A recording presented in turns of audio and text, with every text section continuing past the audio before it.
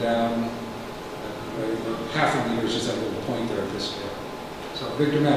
So, um, civilian uh, instruments that provide data, like we're going to show you Landsat data and ASTER data, but a, a lot of countries have satellites that are gathering Earth remote sensing data.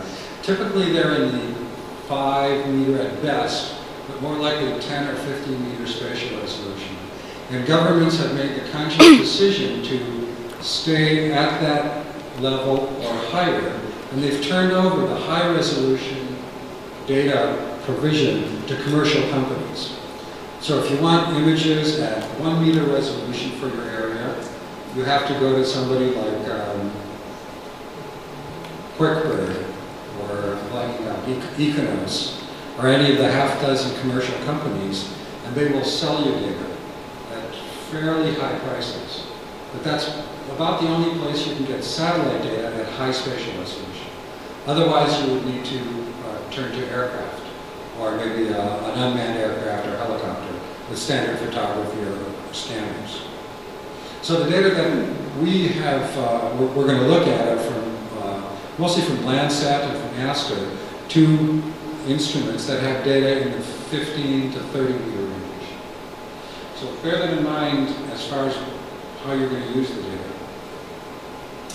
We're all familiar with blue, green, red, and you put them together, and that's what our eye sees. So we have a blue image, an image taken in the green, an image taken in the red, you put them together, and you get a true color image. So this is the basis of all the kinds of imagery that we look at and interpret visually is putting three bands together, assigning one to blue, one to green, one to red, and you get an image. So the, you know, there's not a lot of vegetation here, it's fairly dark, but the vegetation is brightest in the green compared to the blue and the red. So this is the visible spectrum. So if we move a little further out into the spectrum, where, where I'm talking about the, uh, the infrared, beyond the red where the eye can't see, vegetation is very bright, and that's shown here. The areas that are vegetated turn out to be the brightest in the infrared region, but when we make a, we have to display the bands with blue, green, red colors, so you get something called a false color image. And by far more images are made in false color. We can arbitrarily assign blue, green, and red to any spectral bands, and we make images that have no bearing to the color your eye would see, but the information is what's important. So here, the various shades of red relate to the health and vigor of the vegetation. And you cannot get this easily in other parts of the spectrum, the blue or the green parts. I think this is the last one, something to think about when you're, when you're dealing again with uh, remote sensing data. And that's the, the trade-off between spatial resolution and the temporal resolution. This is the frequency at which the data are acquired. So I showed a little bit examples of what nominal spatial resolution is. So this scale goes from about uh, uh, 10 decimeters, 10 decimeters, no, 10 centimeters, up to, here's a meter, 10 meters, 100 meters, up to 100 kilometers. And here we have frequency starting with, this is 100 years, 10 years, one year, a tenth of a year, so that's about a month, a hundredth of a year, three days, thousandth of a year, that, 0.3 days, seven hours.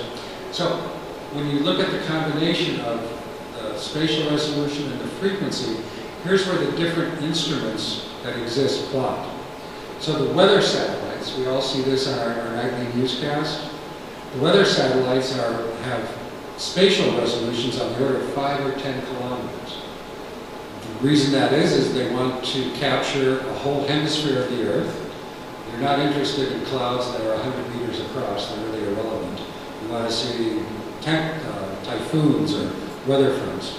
But the data can be acquired extremely frequently, like every 15 minutes. As you get to higher and higher spatial resolution, smaller and smaller pixel size, the frequency generally you can capture that information gets worse and worse. So the, the Landsat instruments and many other instruments that um, are used for land remote sensing fall into sort of the 10 to 15 meter range, which is right here. But generally the repeats are in the order of two weeks, a week to two weeks. And that's because of the orbits they're in and also the amount of data you can transmit to the ground. So you have to match the types of data, the capabilities to the application you want, and then decide what kind of data you need. It could be that, you know, Landsat in this case is totally irrelevant for you. You need data far more frequently than once a week, or once every two weeks. Or you decide you need data that has to be one meter resolution. So that limits where you can go to get the data.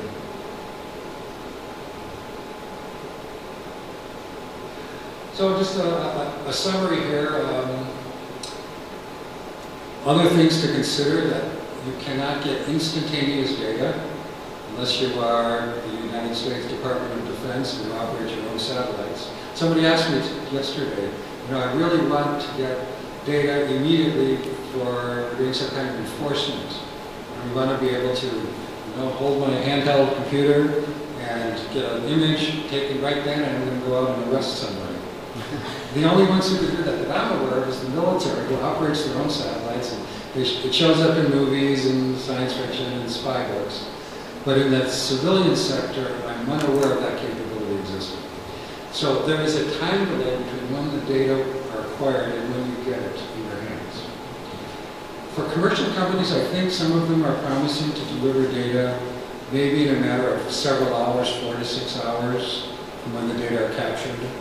So that's almost instantaneous, but it's not quite enough to capture the bad guys.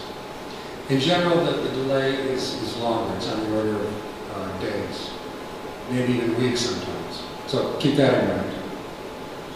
Um, a lot of times the satellite is not going overhead the exact time you need it. And that's just because of orbital mechanics.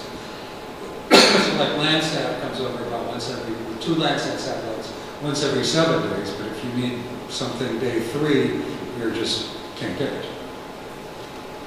Uh, big problem, everybody knows, clouds. If you look globally at millions of images that have been taken around the world, probably about 30% are completely cloud-free. And all the rest of the 70% of the images have some clouds, moderate clouds, and a whole lot of clouds. So that's something we can't control in the visible part of the spectrum. There are other kinds of uh, imagery that does penetrate clouds. Those would be microwave radar images, which provide other kinds of data. Uh, spatial resolution is never enough. That's always true. No matter what you're looking at, you always wish you had a better view of it and you had better resolution. But as I said, the, the non-commercial sensors are in the 10 meter range or higher, and commercial sensors provide high spatial resolution, but at high cost. Uh, what you, can't get what you want, but you get what you need. Isn't that the Rolling Stones? In the next few minutes, uh, let me show you a few examples of the, the, types of images that have been used for conservation. And also, this is an introduction a little bit to what the Terralook capabilities are. But um, Gary didn't, didn't emphasize it, let me emphasize here. There's sort of two parts to what we want to impart to you. One is the, the software, which is a, a Terralook software package that provides uh, some analysis tools, some simple GIS capability. But the other part is the, uh, the system we put in place to, to browse and order data. And we'll, that's what we'll be demonstrating a little bit later. And that allows you access to some very large image databases and the data that are delivered come in a format, the JPEG format, that can be used by almost anything. You don't need Terralook. You can, like I said, you can display it as a, in a Word file, as a Word document, or drop it in PowerPoint, or almost anything. So there, there's two parts to this, but uh, Terralook encompasses both software and um, the links to the, the, data and the preparation of these data files. The data can be used in any program. So, uh, three case studies Gary put together. Dong Hua Sao uh, Reserve Forest in Laos. One thing I show my age, that the, the globe changed since I learned geography in school. and there are some countries I still have no clue where they are. Things change rapidly, so excuse me for some, sometimes reverting to the past. Uh, another area is, is, the confluence of the Iguazu and Parana rivers, where Argentina, uh, Brazil, and Paraguay come together. There's interesting history there what's going on. The other is the capital of Gambia, Banjul. All, all these um, example to show are showing how we can look at uh, monitoring things with time, see how things have changed, and how the data then can be used, if you want, for enforcement or to make political decisions or other kinds of decisions. It's to provide the data to make informed decisions. So the first one is in southern Laos. It's a fairly small area. It's a park that's about 100,000 hectares, established in the 19, early 1990s. And since its establishment, coffee growers have been moving into the productive area, into this forest. The scale of the problem was really not known. People in charge of the park did not have the necessary resources or tools to evaluate how much of their park was being affected, or really to get a good idea where the boundaries of the. So that's what this says in much greater detail. And then um, sometime in the, the, the 90s, uh, park managers purchased some satellite images and discovered how severe the problem was and the extent to which their park had been converted to coffee plantations. So based on that, they made a decision to um, suggest cutting out part of the park because it was no longer a park, it was coffee plantations. So here's, uh, this is what Terralook, the software looks like, Terra software.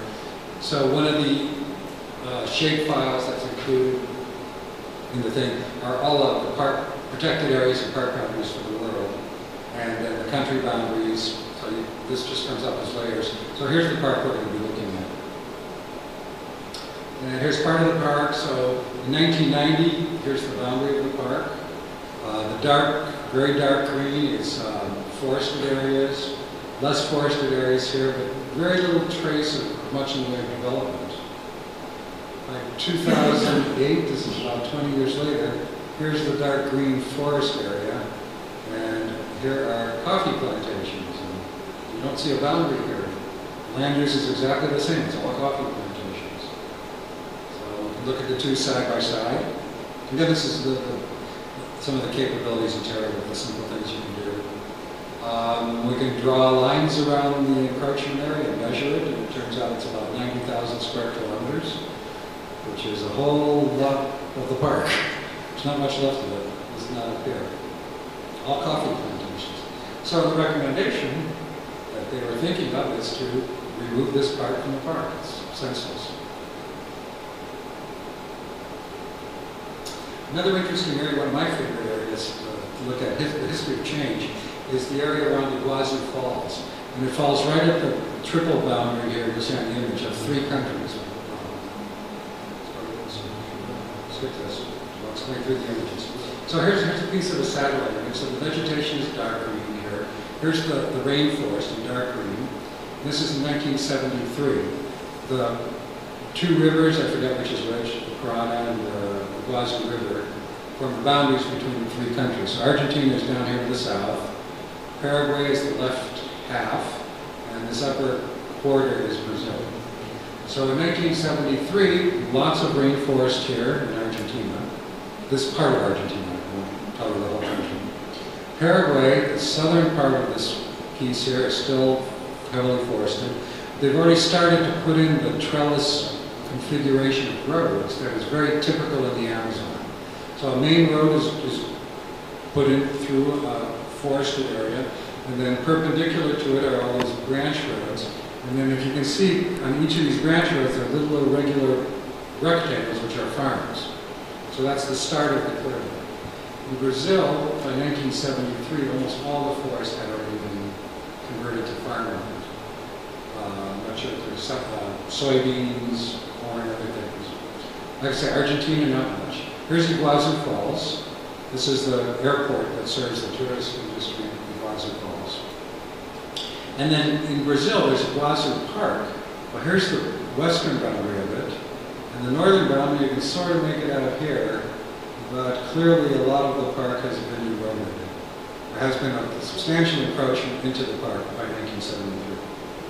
So let's move forward in time. Here's 1989. 1989.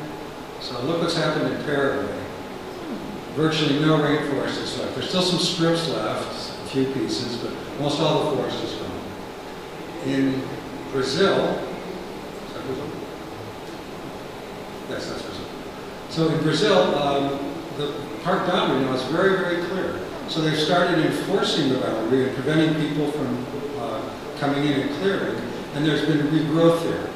Now, from this, I probably can't tell you that it's forest, but some vegetation has regrown there. Probably trees are starting to come back. So they made a conscious effort to enforce this boundary of the park. Argentina, again, very little development in this part of the Argentina. One thing you may have noticed is this extremely large body of water, and the dam, whose name I've forgotten, was put in here, the Itaipu Hydroelectric Dam, to provide power. It provides about 25% of the electricity for Brazil and 75% for Paraguay. So it's a major resource for the country. But at the same time, it has buried um, a waterfall that had the largest volume of any in the world. So there's trade-offs. And also as a result, this is a big spur for development, and we'll see that in the next images as we go. So here's 2000. Again, the park boundary is very clearly defined. Argentina, some of the rainforest now has been converted to farmland. Paraguay, nothing but farmland, but also this is now a big city has developed here. Dam is still here, but this is more residential areas uh, than farmlands. 2007, things are pretty much the same as they were 10 years ago. There's not much left to take away. Uh, Argentina has still preserved most of the forest over here, with the exception of over in this part. There's a city there, some more farming here. Brazil is still enforcing their boundary. Paraguay is completely humanized, is that the right word? Or no? Um, one other thing this, this pair of images show, this is a mosaic of two images, one taken in the dry season and one more in the wet season. So the differences you see right across the board is one uh, uh, differences in state of the crops that you can see. I'm just going to flash through the different images again. Really a dramatic illustration, I think, of how national policy can shape the landscape. We can actually invert that. We can look at the images and infer what the national policy is. So clearly Brazil at some point decided this park is important, probably because of the tourist dollars it brings in. So they decided to enforce the boundary and try to maintain the park. It's always the case. Let's move on. So the last case, last case study here is a series of images for Banjul and Gambia, which is in far west Africa. Uh, it's an interesting city because it essentially lies on the tip of a peninsula. And it is uh, surrounded by first mangroves and then um, forested areas. And as we look what happens over time, the huge increase in population has led to a, essentially elimination of all the forest areas around it, growth of urban centers, urbanization around it, but the mangroves have been preserved. So we can clearly see that. So here it is in 1979. So here's the capital city sitting on this little peninsula. The mangroves are the dark green. Here, here's some more mangroves, here's some more mangroves. And in all of this area is maybe some scattered farmland, very little habitation can see here. 1986, really dramatic change. Uh, most of this is, has been converted to farmland. The city has no place to grow. So we'll see the urbanization starting to move out in this direction. The mangroves remain, which is really surprising and admirable. We haven't touched them. By 2000, this is all urbanized here. Another urban center developing here, farmland here, feed all the people. The population has tripled or gone up five times. 2006, uh, mangroves still seem to be in good shape. This is almost all urbanized now. Very little been converted. It's just, it remains as farmland. So one, really the good thing you can do with satellites is besides looking at what the present state of the landscape is, we have a continuous record of this one satellite anyway for 30 years. All the data are absolutely consistent. They can be compared 30 years ago to today. What you see then and what you see now are the same. You can interpret them as the same things. There's been no change in how the instruments have behaved. The data have been uh, processed to provide the same information regardless of